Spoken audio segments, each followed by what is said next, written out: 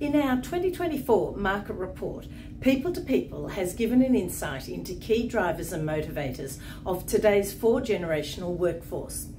With the general population working later into their life, there is a good chance that you might be managing a range of generations in your team, including baby boomers, Generation X, millennials, and Generation Z.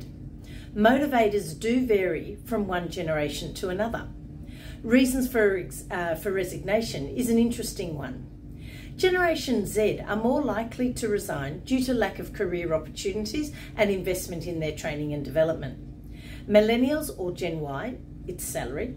Generation X, it's employee benefits. And baby boomers look very closely at management issues. While career development does matter to all, uh, it is the Gen Z and the millennials where it matters most.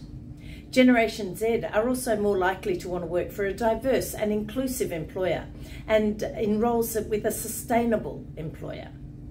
There are also differences in the preparedness of different generations to work on site versus at home or at a remote location.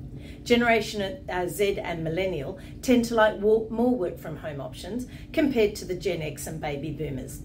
For more of an insight into key drivers associated with talent retention uh, and attraction, please feel free to reach me on 02 8270 9720 and I can share some further insights from our market report. Thank you.